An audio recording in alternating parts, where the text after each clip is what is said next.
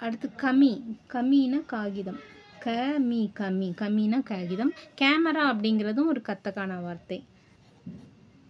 க சரி இந்த இடத்துல கோடு வரக்கூடாது கத்தக்கானால மே ரா கேமரா. கராய் அப்படின்னா காரம். க ரா இ கராய். கராதா அப்படின்னா உடல் உடம்பு. க ரா தா கராதா. கரீரு அப்படின்னா டு பாரு கடன் வாங்குதல். க ரீ இரு கரீரு. கருயி அப்படின்னா வெளிச்சம். லைட் ஆக்சுவலாக லைட் கருயி அப்படின்னா லைட்டாக இருக்கிறத கருயி.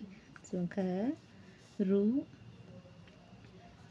இ கருவி இது கரே அப்படின்னா அந்த கறி அப்படின்னு சொல்கிற இந்த குருமா மாதிரியான மாடலில் கொஞ்சம் திக்காக அந்த ரைஸில் ஊற்றி சாப்பிடுவாங்க அது. கரே ரைஸு அப்படின்னு சொல்லிட்டு அந்த கரே இது வந்து கறிங்கிற ஆங்கில வார்த்தைங்கிறதுனால கத்தகானா தான்.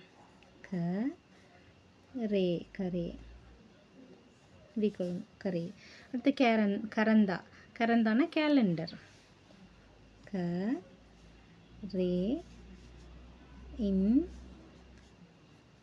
தா. கேரந்தா. கரந்தா இது ஏதாவது ஒன்று ஒரு டெடி பேர் இல்லை வந்து ஒரு குட்டி குழந்தை அழகாக இருக்குது அப்படின்னு சொன்னால் அதை கவாயி அப்படிம்பாங்க. கவாய் அப்படின்னா க்யூட் க வா ஈ ரெண்டு ஈ போடணும். கவாய்.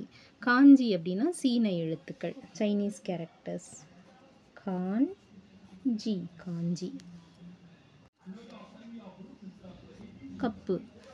அடுத்தது கத்தை. கத்தைனாலும் குடும்பம் ஃபேமிலி தான். அது வந்து அதில் உள்ள மெம்பர்ஸ் சொல்லும்போது அந்த கத்தை ஹோம் அப்படின்லாம் சொல்லுவோம் இல்லையா? அந்த அர்த்தத்தில் வரும் கத்தை.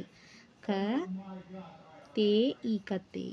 அடுத்து கதோ அப்படின்னா கார்னர் மூளை. க தோ கதோ. கபின் அப்படின்னா ஃப்ளவர் வாஷ் ஃப்ளவர் வாஷ் க பி இன் கபின்.